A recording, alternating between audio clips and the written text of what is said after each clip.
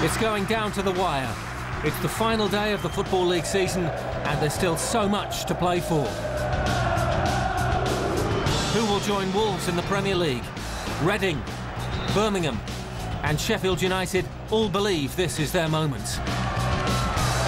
And there are playoff places to be won and relegation issues to be decided. Coming up on the Football League show.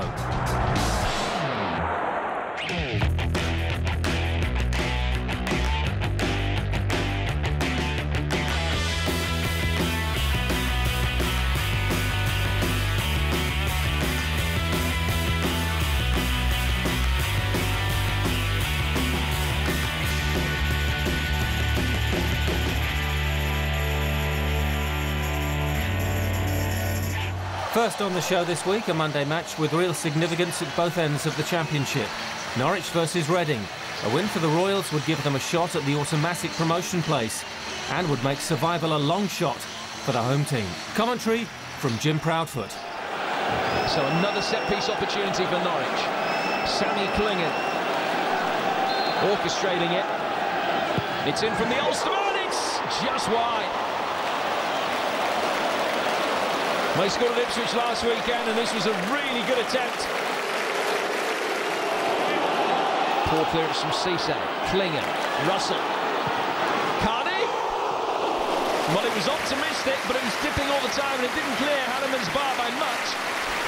An appreciative round of applause from the Canaries faithful.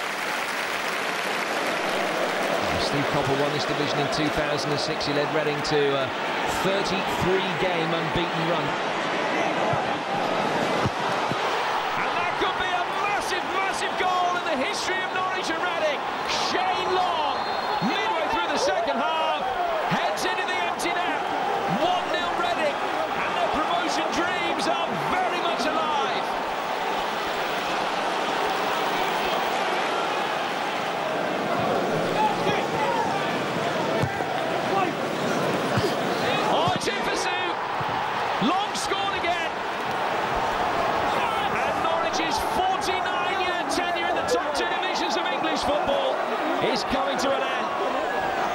Again, the quality was good. Header was excellent. It's a night when the situation at one end of the table has completely polarised. At the other end, it's all in the balance. Norwich City's tenure in the Championship could well be coming to an end. Reading, on the other hand, still have an outstanding chance of automatic promotion. Their fate's not quite in their own hands, but their dreams are still alive.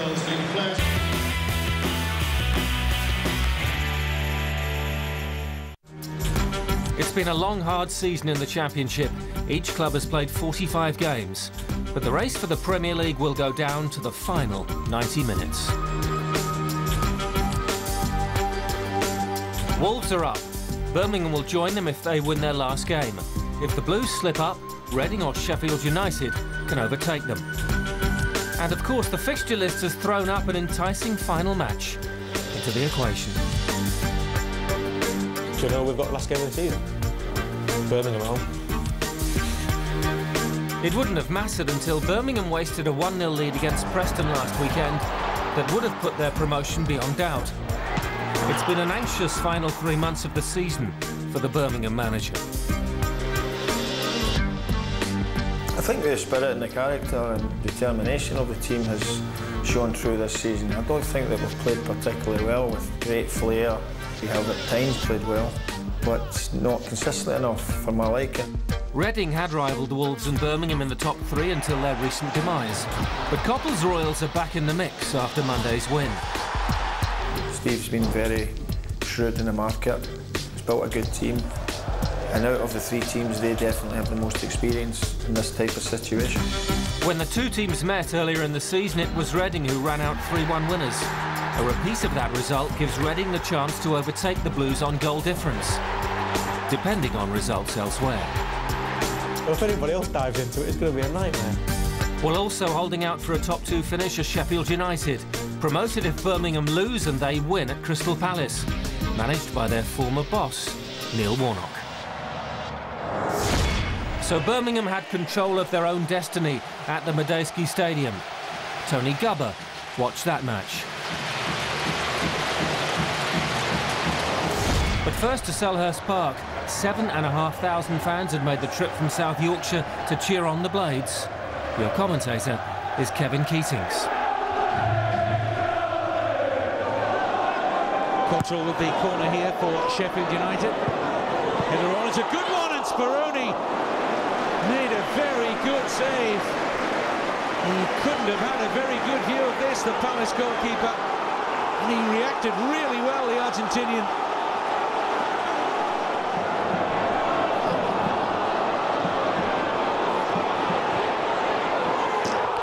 Sheffield United almost going in front here. David Cotterill, all his own work. But how had things started at Reading?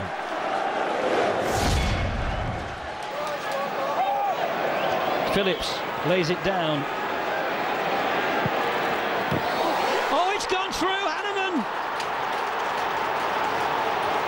He's looking for an offside flag, but he's not going to get it. And Fahey has put Birmingham ahead with just over 18 minutes played. Oh, that's good, good play. Now Kevin Phillips with a glorious chance. This time, Hahnemann kept his legs closed and saved it with his knees. Back to South London, where Sheffield United needed a goal. McCarthy.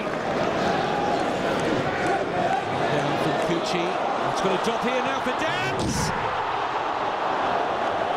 He was onside, and what a chance for Neil Danns to puncture Sheffield United automatic promotion hopes. Montgomery. Chest off is a good one, a terrific save by Speroni to deny Jamie Ward. Oh, Sheffield United's clearest opportunity by far.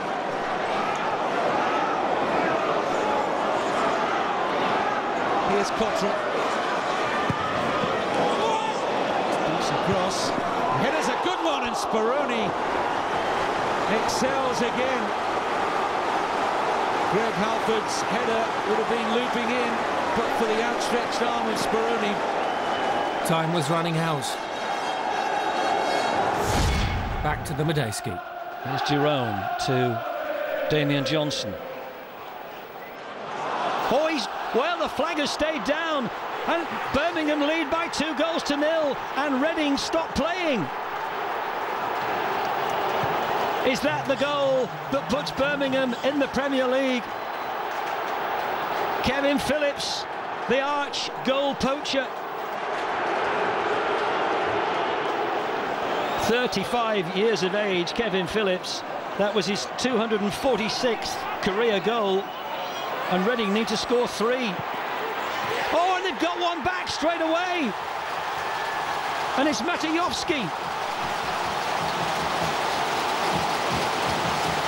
Birmingham celebrations are stifled in an instant. What a game we have on. As it opened up here. Oh, great strike and a good save, and it was Matejovsky again, and then a push. Appeals for penalty, not given.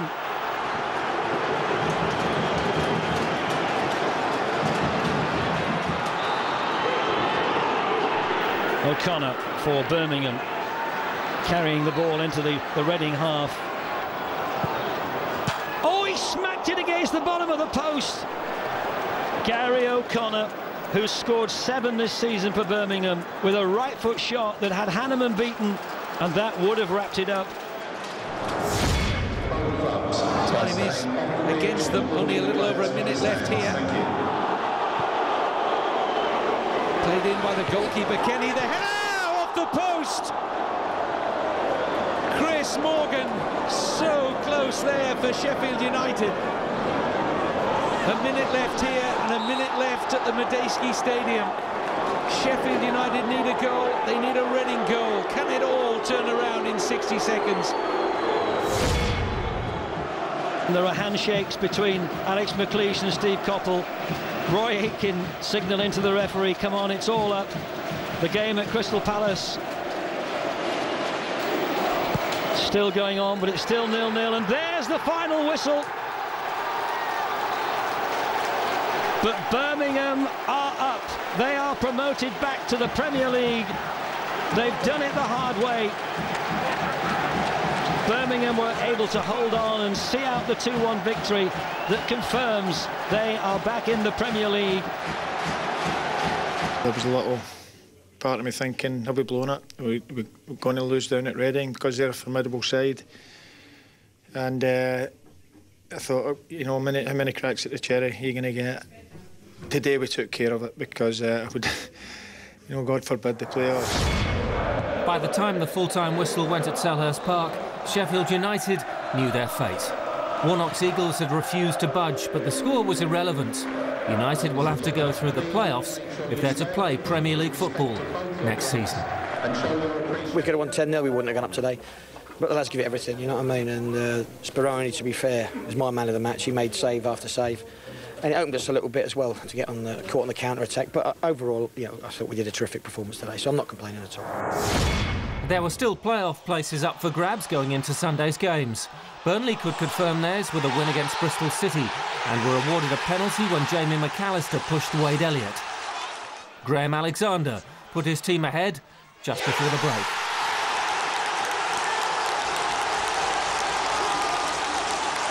Into first half injury time and City failed to clear a corner. Elliott made them pay with a fine finish. After the break, the home side pushed to extend their lead and make safe their top six place. Bradley Orr's handball helped the Clarets' cause. Step forward, Alexander once again.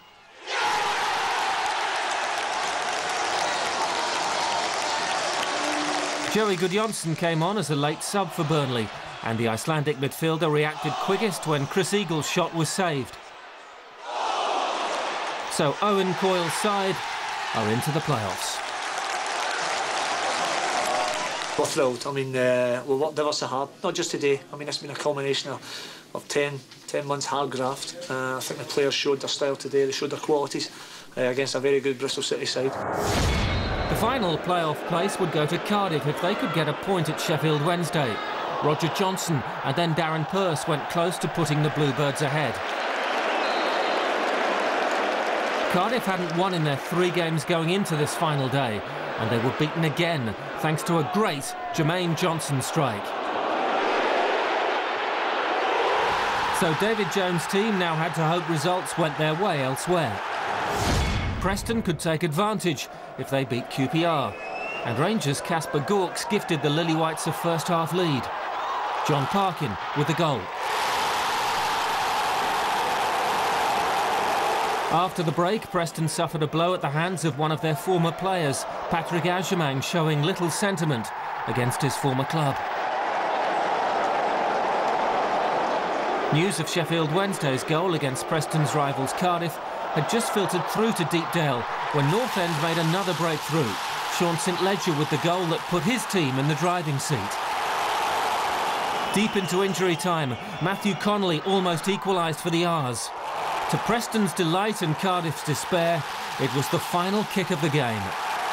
And with four consecutive wins, Preston claimed an unlikely place in the playoffs.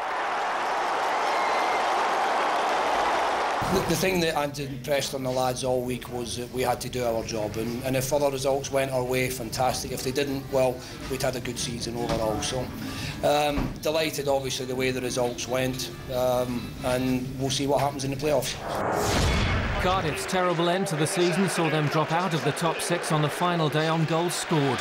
Their 6-0 defeat at the hands of Preston two weeks ago had real significance to get so close is, is a gut wrencher for everybody. Even like today, you know, three things have got to go against you and three things went against us.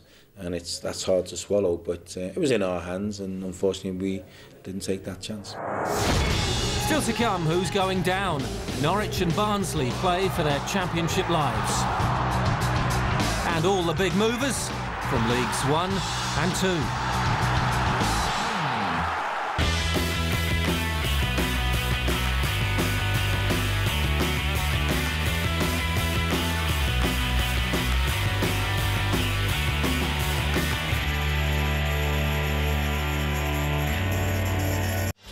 To relegation matters. Nottingham Forest and Plymouth were relieved to see Norwich lose on Monday. That result secured their championship status for next year. Going into the final day, Barnsley could guarantee their survival with a point at Plymouth. Norwich needed an Argyle win and a victory at relegated Charlton. Norwich manager Bryan Gunn had experienced relegation from the Premier League with Norwich in 1995. The club hadn't played third-tier football since 1960 and needed to cook up a last-day miracle to avoid that fate. But the Norfolk team were in trouble from as early as the ninth minute at Charlton. Lloyd Sam setting up Nicky Bailey.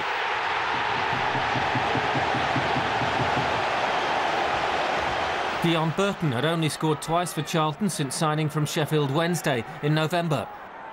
But he pounced on David Marshall's error to put more pressure on Norwich.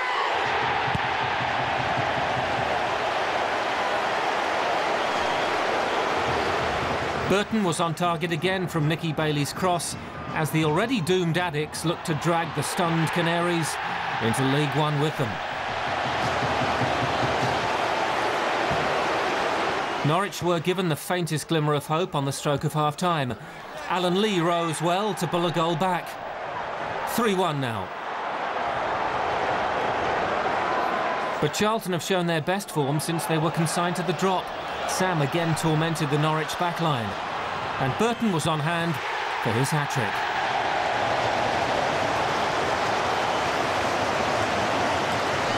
Northern Irish midfielder Sammy Clingan has scored some vital goals in recent weeks that had given Norwich a chance of beating the drop. But his free kick on the hour was the final moment of defiance by a team who knew that it was on its way down. Norwich, like Charlton and Southampton so recently in the Premier League, drop into League One. A little bit of soul searching needs to be done by myself and uh, the players I've just spoken to in the dressing room there. Um, you know, it's it's the it's it's the, it's the most horrible experience in football, being relegated. Barnsley had gone into their match at Plymouth needing a point. Gary Sawyer put the home team in front. And Plymouth so nearly went two up. Adam Judge with the shot. It was so close. But as Norwich began to fall apart at the Valley, the Tykes took control of their own destiny. Adam Hammill with the equaliser.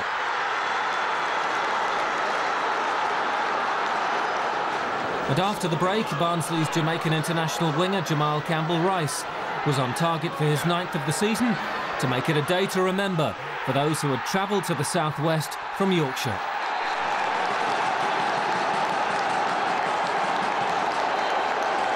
Battling Barnsley stay in the Championship for another season. Whatever was going on elsewhere at uh, Charlton and Norwich uh, was incidental. We had to come down here and get a result, and know, I'm proud of every player. And uh, it was important that we stayed in this division. Uh, I always believed, and I said for the last six to eight weeks, that we would stay in this division, and, uh, and that's what we've done. Champions Wolves signed off from the Football League with a home game against Doncaster. Defender Richard Stearman guided the ball in for his only goal of the season. 1-0 and Wolves fittingly celebrating a win. Club captain Jody Craddock lifted the championship trophy. The old gold returning to the top flight for the first time since 2004. With Nottingham Forest safe and Southampton's relegation confirmed, there was only pride to play for at the City Ground. And it was the League One bound Saints who took the lead. Bradley Wright Phillips with the goal. But that was all the luck they would get, as Forest struck back in style. Joe Garner's great strike crowning an impressive season for the 21-year-old. Luke Chambers converted a Chris Cohen corner to put the home side ahead with three minutes to go. And as the seconds ticked down, Forest still had time to add a third. Rob Earnshaw making sure their season finished on a high. But another defeat to round off Southampton's miserable campaign. At Portman Road, new Ipswich manager Roy Keane took charge of his first game in front of the home fans, and they were treated to an entertaining game against Coventry. Tottenham loanee Giovanni Dos Santos showed his class to break the deadlock. Keane got off to a winning start at Cardiff last week, and Ipswich were on target again against the Sky Blues thanks to a slice of luck. Jon Stead's shot rebounding to Pablo Counago.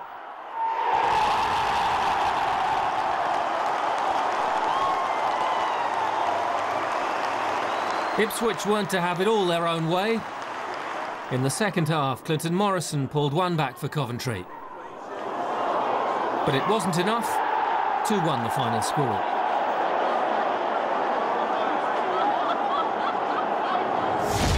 Watford and Derby both changed managers in seasons of disappointment, but having put their problems behind them, the Hornets enjoyed the end of season sunshine. Jobi McAnuff with their first goal. Before the half hour, the home side were two up. After Thomas Priskin and Adrian Mariappa failed, Southampton loanee Grzegorz Rasiak found the net. Tommy Smith has been Watford's ray of light in a disappointing season, so it was fitting the midfielder supplied Rasiak for his second. Watford cruising at the break, 3-0 up. There was a slight sting in the tail for the Hornets. Midfielder John Eustace, on loan at Derby from Watford, scored in the second half. But 3-1, the way it finished. Swansea's impressive debut championship season came to a disappointing end against Blackpool.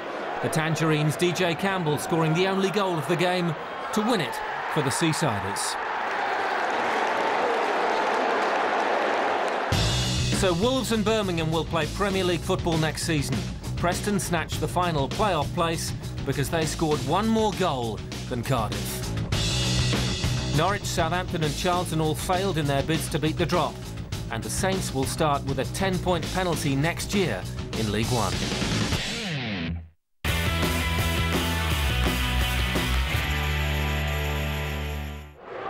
In League One, Scunthorpe and Tranmere faced off for the final place in the playoffs. Two points divided the sides at kick-off. So when Tranmere's Craig Curran opened the scoring, it was advantage to the team from the Wirral.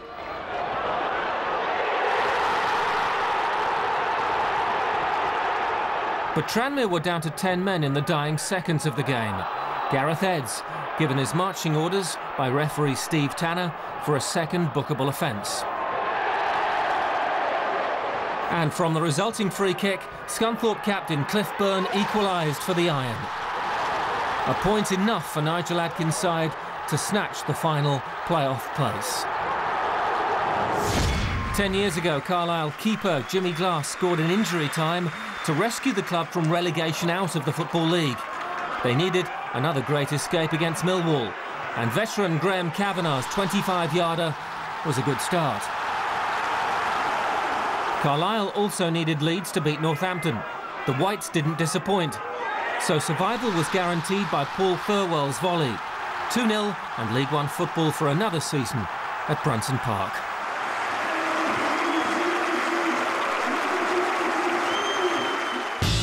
Leicester and Peterborough were two leagues apart a year ago, but they will play championship football next year. Scunthorpe have dramatically made it into the playoffs. Carlisle's final day win keeps them in League One at the expense of Northampton, who join Crewe, Cheltenham and Hereford in League Two next season.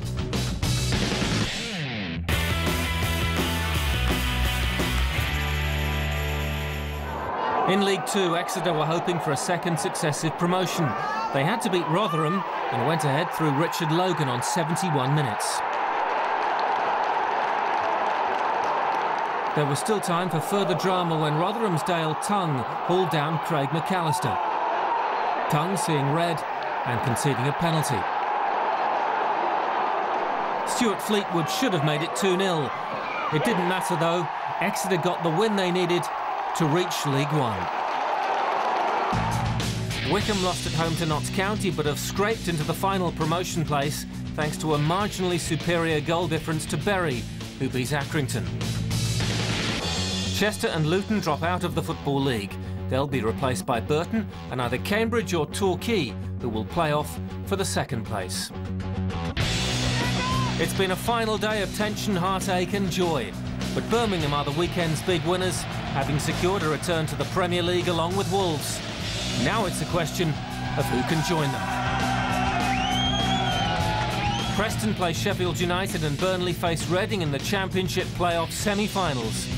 And we'll have all the playoff action from all three leagues over the coming weeks, right here on the Football League Show.